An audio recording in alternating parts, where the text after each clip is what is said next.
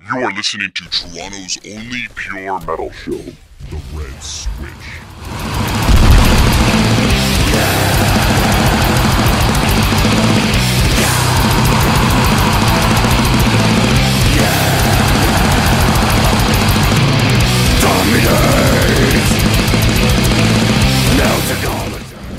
get you to introduce yourself and uh, what you do in the band. Yeah, I'm Henri. I'm the founder and uh, singer and guitar player in God Dethroned since 1990. And uh, the kettle is on. Yes.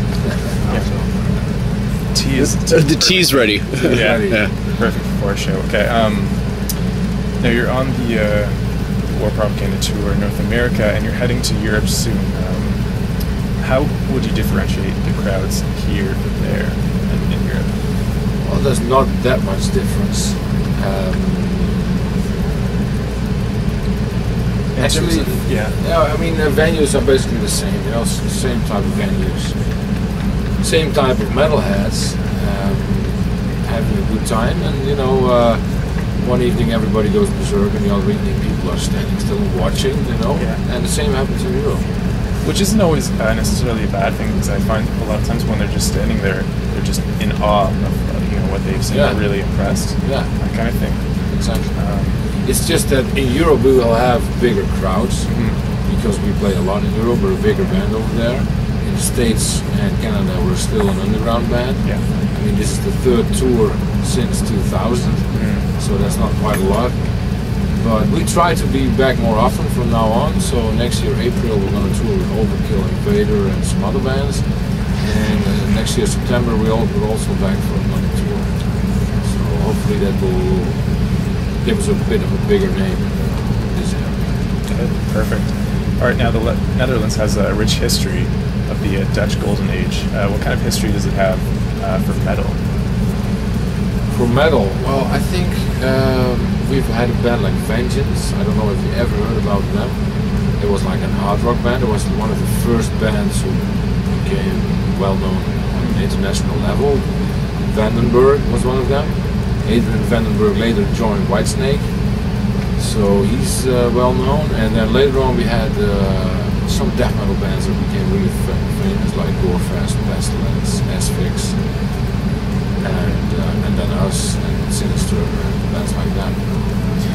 Um, for the writing process of Passiondale, did you as a band believe that you had the duty to retell the story of? The duty? No, not the duty, but you know, our former guitar player Isaac Delahaye, he lives in Yper, which is close to the village Passchendaele.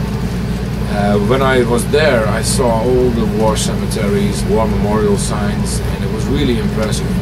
So on a day we went to the museum, the World War One museum, and that was really impressive. So I thought, like, maybe I can do some research and write a, a concept album about World War One.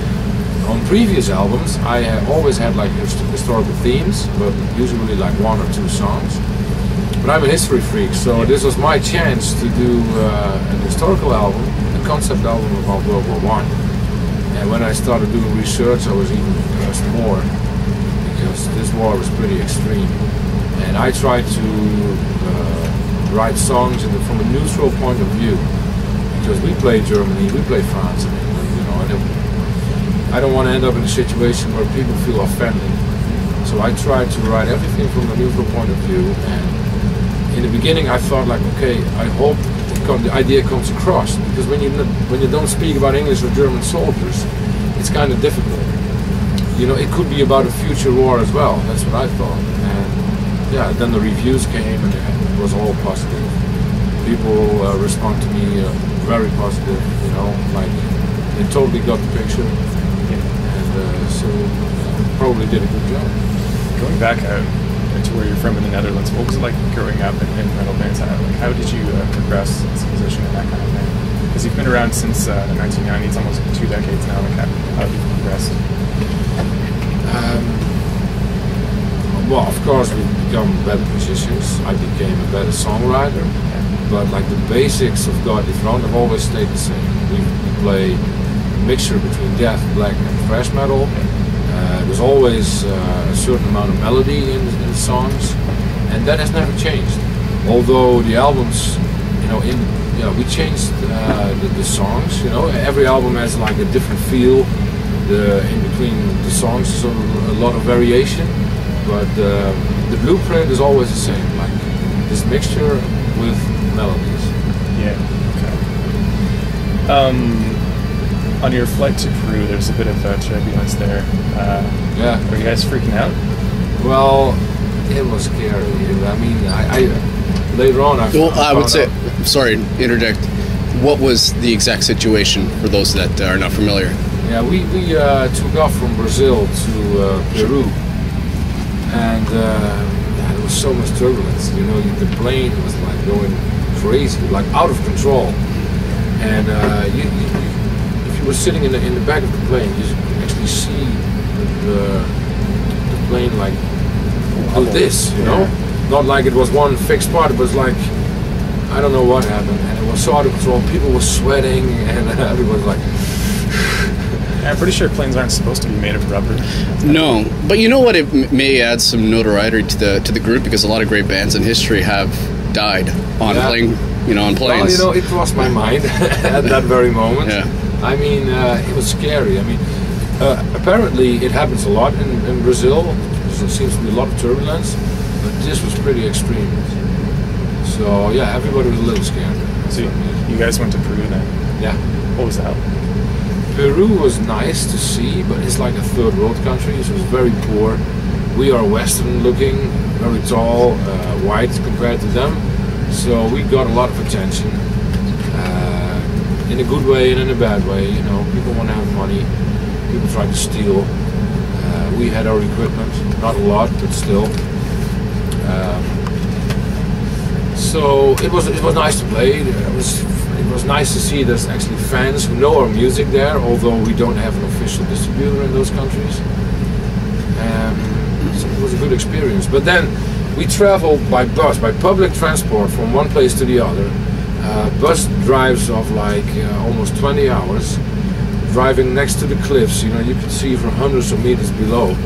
And then afterwards, we heard that. Uh, um, that, that like four buses a week disappear over the cliffs. So that's a pretty scary story too. Yeah. Yeah. On your last album, Passiondale, there's uh, the intro song, "The Cr- Cross of the Sacrifice," Yeah. uh, which has what sounds like a Japanese woman saying something. Do you know what she's saying? Yeah, I wrote it. Oh, really? Yeah, But I wrote it in English, Uh huh. and it's a text saying, you know, actually Europe was was in this weird kind of tension in between countries around 1914, and it's um, it, it, I wrote that uh, that Europe was on the brink of uh, of destruction, and like going into some side of some some kind of suicide thing. I got it from a book somewhere. It was a guy who wrote some poetic stuff about about Europe around the time the World War One started, and um, so I wrote that in English, and she just translated it in Japanese and spoke that in the intro.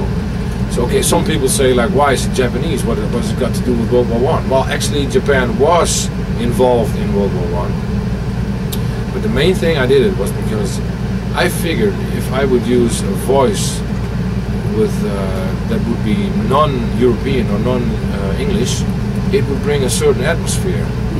So when I listen to the to the intro, it brings up a lot of tension when I listen to it. And you have this creepy guitar and all the background noises, and you hear a Japanese voice, not knowing what she says, but you can hear she's bringing up tension. Yeah. And that was the exact meaning of the intro. And then the first song comes. in. It does add a little bit of like a frantic, sort of mysterious start to the entire album. It sets the tone. Yeah. And I found that the entire album, it's like a saga. It's almost like a journey from the beginning to the very end, sort of like World War One, Yeah. where it starts, everyone's very unsure, no one knows knows what's going on, but it finally ends with like a sort of like, like Yeah. that's it, Yeah. and it sort of plays out like that. Would you say this album could sort of be played out? Uh, sort of like in a documentary style situation with World War One. That's what a producer in the studio also said. When, when the album was finished, he said like, yeah, this is like listening to a soundtrack of a war movie. Yeah. And well, that was the meaning.